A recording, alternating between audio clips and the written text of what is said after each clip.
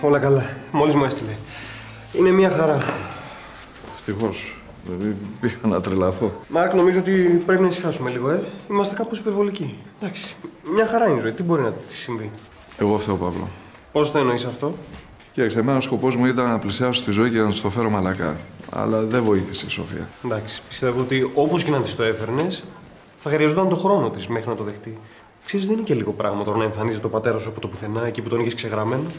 Ειλικρινά σου μιλάω, υπάρχουν στιγμές που αυτή η σκέψη μου με τρελαίνει. Να σε ρωτήσω, πώς και δεν θέλησες ποτέ να την πλησιάσεις, έστω και από περιέργεια; Εντάξει, τώρα αυτό είναι πολύ μπερδεμένη ιστορία. Δηλαδή, τόσο που δεν ξέρεις ποιος είναι ο θήτης και ποιο το θύμα. Το σίγουρο είναι ότι κανείς μας δεν έκανε το σωστό.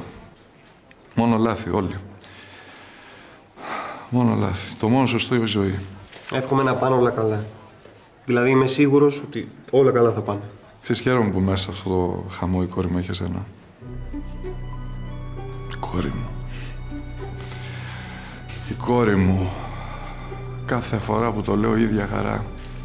Πάντως, άσχετα από το τι θα γίνει στη δική μας περίπτωση, θα σε βοηθήσω όπως μπορώ. Θα κάνω ό,τι περνάει από το χέρι μου.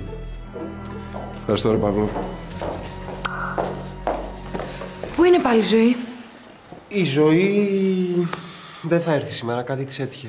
Ναι, αλλά όλο κάτι τυχαίνει σε αυτό το κορίτσι. Α, δεν ξέρω για τις προηγούμενες φορές, αλλά αυτή τη φορά ευθύνομαι εγώ. Και να ξανασυστηθώ, γιατί το κάνω με όλους. Μάρκος Γιαννάτος, πατέρας της ζωής.